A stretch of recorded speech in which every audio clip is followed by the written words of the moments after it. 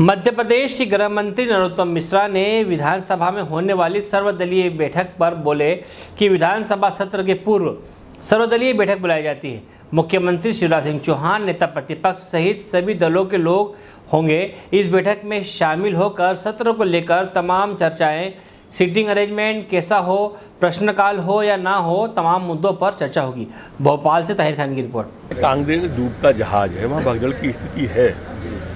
अब इसको आँखें बंद करने से कांग्रेस न माने, ये बात अलग है। तो कांग्रेस में कोई रहना अब चाहता नहीं है। मूल रूप से विधानसभा के संचालन के लिए माननीय प्रोटेम स्पीकर जी के द्वारा बुलाई गई है। माननीय मुख्यमंत्री जी, माननीय नेता प्रतिपक्ष जी उसमें रहेंगे।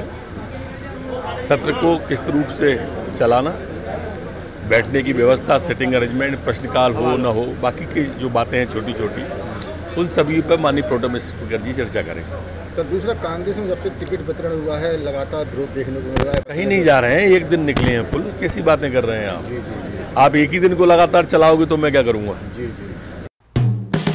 हेलो फ्रेंड्स आप देख रहे हैं हमारा channel S W twenty four news हमारे सारे वीडियो सबसे पहले देखने के लिए आप हमारे चैनल को सब्सक्राइब करें और पास में लगे बेल आइकोन को दबाना बिल्कुल भी ना भूलें।